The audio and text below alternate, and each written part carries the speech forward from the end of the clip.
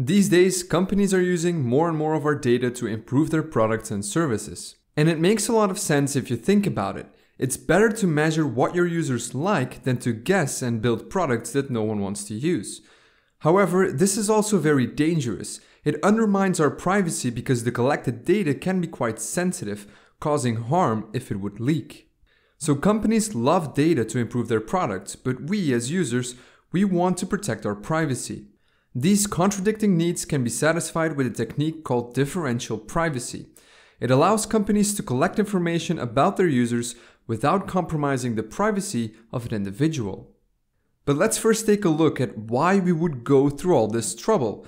Companies can just take our data, remove our names, and call it a day, right? Well, not quite.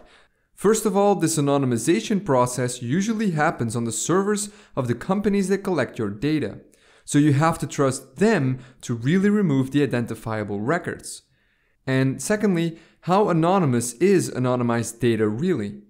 In 2006, Netflix started a competition called the Netflix Prize.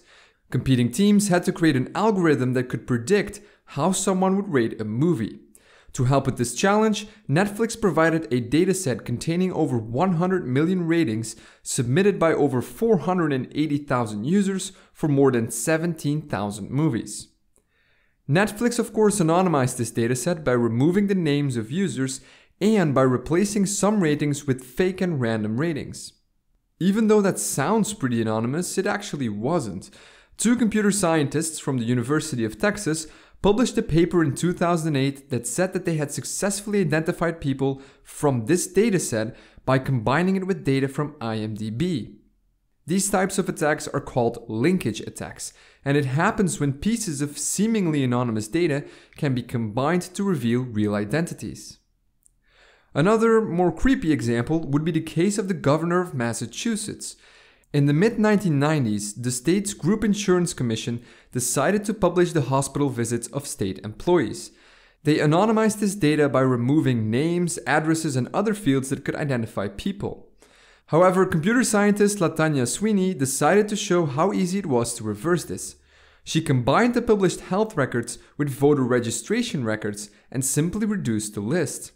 There was only one person in the medical data that lived in the same zip code, had the same gender, and the same date of birth as the governor, thus exposing his medical records. In a later paper, she noted that 87% of all Americans can be identified with only three pieces of information zip code, birthday, and gender. So much for anonymity. Clearly, this technique isn't enough to protect our privacy. Differential privacy, on the other hand, neutralizes these types of attacks. To explain how it works, let's assume that we want to get a view on how many people do something embarrassing, like for example picking their nose. To do that, we set up a service with the question, do you pick your nose? And with the yes and no buttons below it. We collect all these answers on a server somewhere, but instead of sending the real answers, we're going to introduce some noise. Let's say that Bob is a nose picker and that he clicks on the yes button. Before we send his response to the server, our differential privacy algorithm will flip a coin. If it's heads, the algorithm sends Bob's real answer to our server. If it's tails, the algorithm flips a second coin and sends yes if it's tails or no if it's heads. Back on our server, we see the data coming in, but because of the added noise, we can't really trust individual records. Our record for Bob might say that he's a nose picker, but there is at least a 1 in 4 chance that he's actually not a nose picker, but that the answer was simply the effect of the coin toss that the algorithm performed. This is plausible deniability. You can be sure of people's answers, so you can judge them on it. This is particularly interesting if you're collecting data about illegal behavior, such as drug use, for instance. Now, because you know how the noise is distributed, you can compensate for it and end up with a fairly accurate view on how many people are actually nose pickers. Now, of course, the coin toss algorithm is just an example and a bit too simple. Real world algorithms use the Laplace distribution to spread data over a larger range and increase the level of anonymity. In the paper, The Algorithmic Foundations of Differential Privacy, it is noted that differential privacy promises that the outcome of a survey will stay the same whether or not you participate in it. Therefore, you don't have any reason not to participate in the survey. You don't have to fear that your data, in this case your nose picking habits, will be exposed. Alright, so now we know what differential privacy is and how it works, but let's take a look at who is already using it. Apple and Google are two of the biggest companies who are currently using it. Apple started rolling out differential privacy in iOS 10 and macOS Sierra. They use it to collect data on what websites are using a lot of power, what emojis are used in a certain context, and what words people are typing that aren't in the keyboard's dictionary.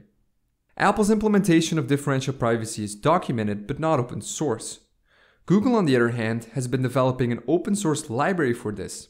They use it in Chrome to do studies on browser malware and in Maps to collect data about traffic in large cities. But overall, there aren't many companies who have adopted differential privacy, and those who have only use it for a small percentage of their data collection. So, why is that? Well, for starters, differential privacy is only usable for large datasets because of the injected noise. Using it on a tiny dataset will likely result in inaccurate data. And then there is also the complexity of implementing it. It's a lot more difficult to implement differential privacy compared to just reporting the real data of users and anonymize it in the old fashioned way. So, the bottom line is that differential privacy can help companies to learn more about a group of users without compromising the privacy of an individual within that group. Adoption, however, is still limited, but it's clear that there is an increasing need in ways to collect data about people without compromising their privacy. So that's it for this video. If you want to learn more, head over to the Simply Explained playlist to watch more videos. And as always, thank you very much for watching.